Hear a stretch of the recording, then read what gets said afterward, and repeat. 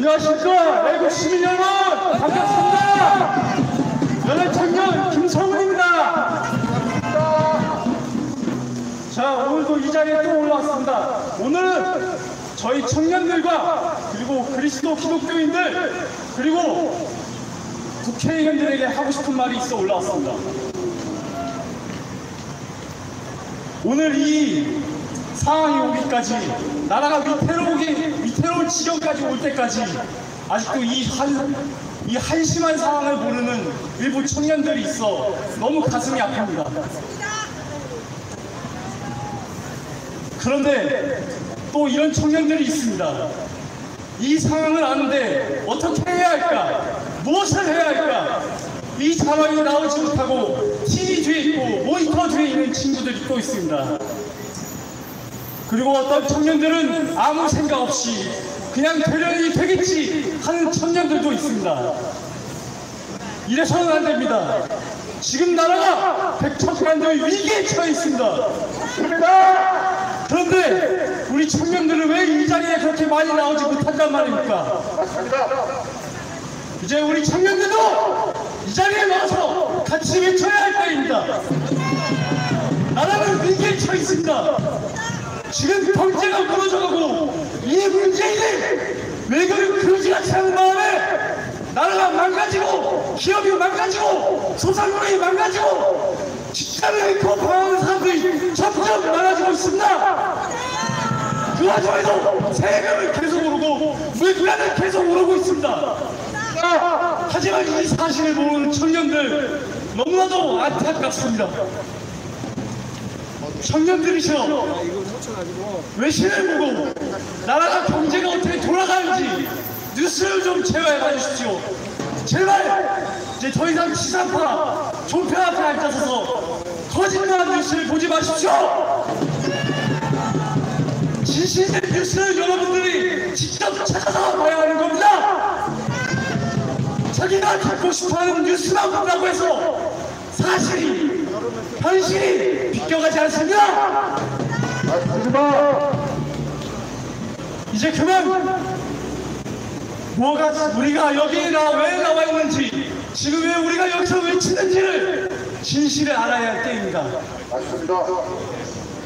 청년 여러분 어디선가에서 보고 계신 청년 여러분 제발 이 정부를 한 번만 의심해 주십시오.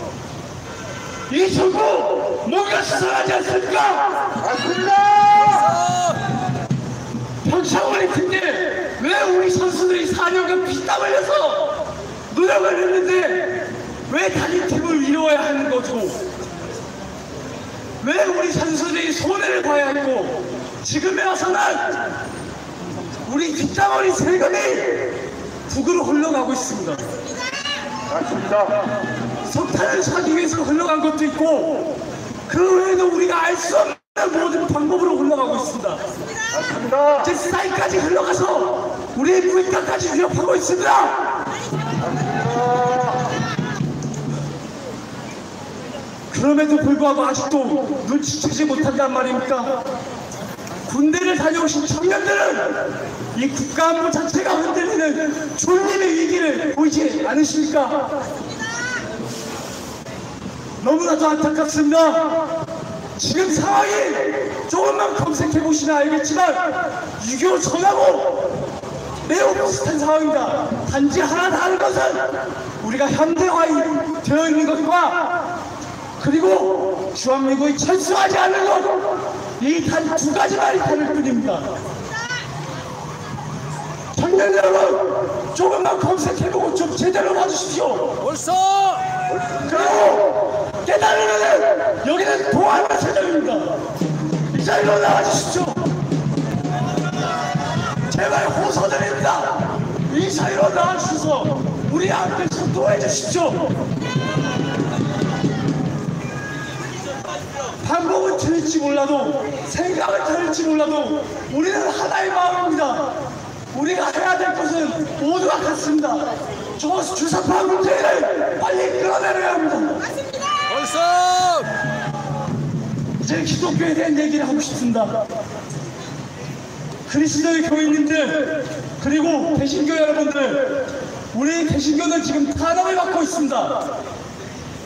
우리가 알게 모르게 저 제2모 방송에서 지금 하, 2, 3일에 한 번씩 개신교에 대한 안 좋은 뉴스를 계속 내보내고 있습니다. 우리 개신교인들이 볼 때는 눈치채지 못할 수 있습니다. 하지만 어떤 뉴스를 보내냐? 어떤 모 교회의 누군가 비리를 저질렀다. 이런 뉴스만을 계속 보내고 있습니다. 하지만 우리 개신교인들은 아 그런 뉴스가 있구나. 아저 교회는 나쁜 교회다. 그런 줄로 알수 있습니다. 하지만 일반인이 볼 때는. 계속 교회에 대한 안 좋은 뉴스